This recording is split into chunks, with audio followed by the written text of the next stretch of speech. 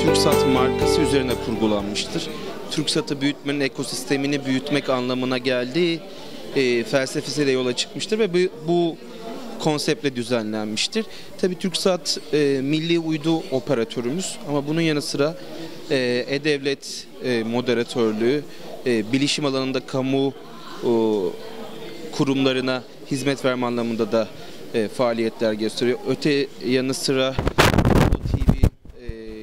kısmında da var. Şimdi işte yeni 4B uydusu fırlatıldı. Buradan K-band e, alanında da çalışmalar yürütecek. Dolayısıyla e, TürkSat büyük bir aile. Bu büyük bir ailenin büyük bir ekosistemi olması lazım. Bu etkinlik e, temelinde birkaç e, çıktı oluşturmak üzere planlandı. Bir tanesi TürkSat 6A uydusunun milli uydu olarak tasarlanan uydunun ekosistemini oluşturmak. Yani uyduyu yapacağız. Dört tane şirket var. TÜBİTAK Uzay Aselsan, TAİ, SİTEK.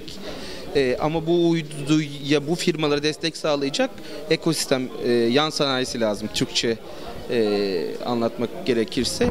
İkinci önemli çıktısı E-Devlet'i bir marka haline getirmek. İşte TürkSat Kuzey Kıbrıs Türk Cumhuriyeti'nin E-Devlet projesini yürüttü. Orada artık dijital kimlik bile var ve bir marka haline geldi. Dolayısıyla dost müttefik ve kardeş ülkeler Türkiye'nin elde ettiği bu know-how'u paylaşmak istiyoruz. Onun için de bir e, marka haline gelmesi lazım. Üçüncüsü 4.5-5G vadisi yaptık burada. İşte mevcut 26 Kasım'da 5G frekansları yanılmıyorsam belli olacak.